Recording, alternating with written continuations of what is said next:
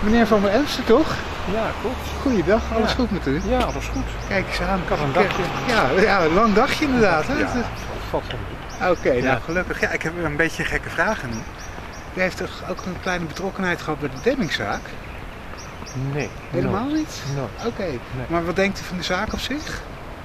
Welke demmingzaak heb ik het over? De zaak van Joris Demming, de oud-SG, het ministerie van Justitie, die eh, ja, beschuldigd wordt van kindermisbruik en daar dergelijke. enkele mening over. Ik ken die zaak niet. Dat is natuurlijk het, het rechtersantwoord, maar ik ken hem echt niet. Ik zou Nee? er niks van over zeggen. Oké, nou, Nee. jammer dat u hem niet kent. Ik zou er toch eens in verdiepen, want het is een hele, hele aparte zaak. Dat het ministerie zo te schande gezet kan worden. Waar iedereen zich mee bemoeit kennelijk, maar ik hou me daar verder van. Oké, nou, heel Ik verstandig. heb genoeg wel. Oké, zaken die ik wel ken. dank u.